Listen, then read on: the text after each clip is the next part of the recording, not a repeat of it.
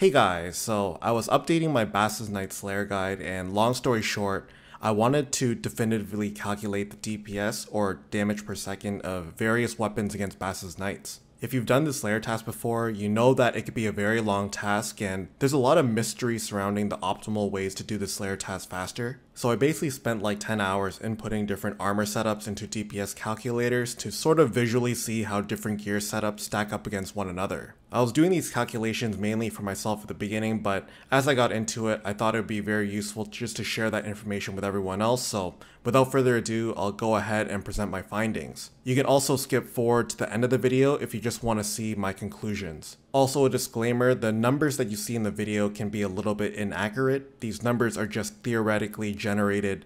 I didn't actually spend hundreds of hours killing Basilisk Knights to get these results. I basically used Bitterkoekje's and oldschool.tools DPS calculators to get these numbers, so if you want to play around with those calculators, you can find them in the description box below. So this first page is all the calculations that I got, and I know it's quite overwhelming, but basically I was just going through the DPS calculations for different combat styles. So you can see we have one for max melee and all the different weapons that we have here. I also did the calculations for max magic, and of course comparing all of the viable range setups that you could do, so a max gear setup with 2-tick weapons like knives or darts, and also if you're using a max gear setup with a crossbow and all the DPS outputs of different bolts. And to the right, just seeing how different the DPS output changes if you swapped out the body, leg, foot, and ring slot with prayer items, so for 2-tick weapons as well as crossbows. The stars that you see beside certain items are just there so you can visually see what the best value items within their respective categories are. And at the bottom right corner, just calculating the approximate prayer drain of each setup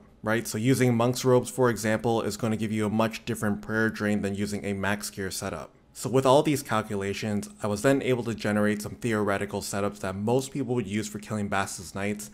And you can see here that I did 16 different setups comparing the total cost as well as the time taken to do a Slayer task. So I sorted it all by time so you can visually see what is the most effective setup. You can also see that I was mainly focused on range setups because melee is actually very tough to theoretically calculate since the calculators don't let you input the DPS lost from taking damage from Basilisk Knights. Honestly, all these calculations were pretty interesting to me, and it might be interesting to you if you're killing Basilisk Knights yourself, so you could pause the video to take a closer look at these setups, but I was able to come up with 5 different conclusions about killing Basilisk Knights. Alright, so the first point is that max melee is actually pretty fast with a Blood Fury. The time that you save from the Blood Fury could be very valuable to you. And of course, if you're using a melee setup, eating food will lower your DPS substantially because there are delays in between attacks. Also, if you're using lower level armor, it could also lower your DPS, but Overall, could still be a good setup for you to use if you have really poor ranged or magic gear and levels. So the second point, Dragon Darts, Dragon Knives, and Dragon Bolts are definitely not worth it. This includes Dragon Stone, Dragon Bolt Enchanted, or Diamond Dragon Bolt Enchanted. They're all very terrible value.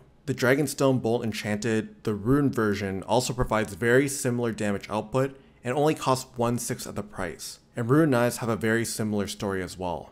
The third point here is that two-tick weapons like knives and darts get increasingly worse and expensive with bad gear. So only use two-tick weapons if you have amazing gear to go with it. If you have a fully max setup, you may even want to consider adamant or mithril darts because of how cheap they are. With a max setup, you can get very competitive Slayer task speeds at cheap cost with 2-tick weapons. The fourth point is that Dragonstone Bolt E is the superior bolt for any crossbow setup against Basilisk Knights, no question. They're relatively cheap and has comparable stats to Dragon Bolts. For Ironman, Knight or Amethyst bolts are the second best in terms of value and DPS. And the fifth point, mostly for Ironman, but to save prayer potions, don't use Rigor or Eagle Eye armor setups. As you can see by the 15th setup, a range prayer crossbow setup using the highest level bolt you can and not using any ranged accuracy prayer boost will cost you the least amount of prayer potions. But by doing this, expect your task time to be about 30 minutes to an hour longer if you're going this route.